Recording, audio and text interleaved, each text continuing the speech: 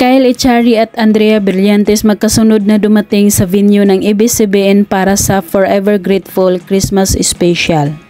Napakaganda at sexy ni Andrea sa kanyang suot na black fit dress habang si Kyle naman ay naka-short with green t-shirt.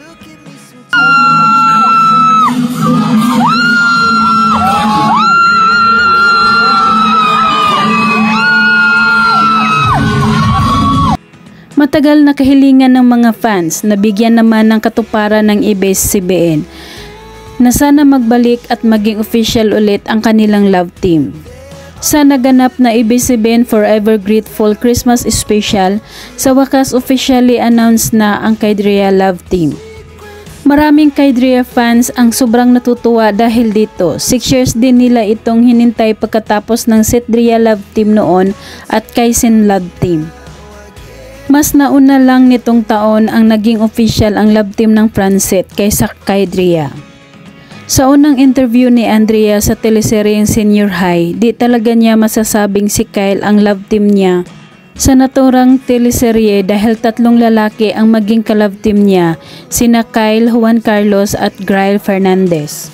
Napuno ng hiyawan ng Kaidria fans nang lumabas na ang Kaidria para kumanta sa stage at naka-holding hands pa ito at bagay sa kanila ang kanilang mga kasuotan. Samantala, sa kanilang senior high cast performance, makikitang nakasuot sila lahat ng striped jacket. At kapansin-pansin ang magkaparehong kulay ng suot ng Kaidria. Samantala, narito naman ang samot-saring komento ng kanilang mga fans.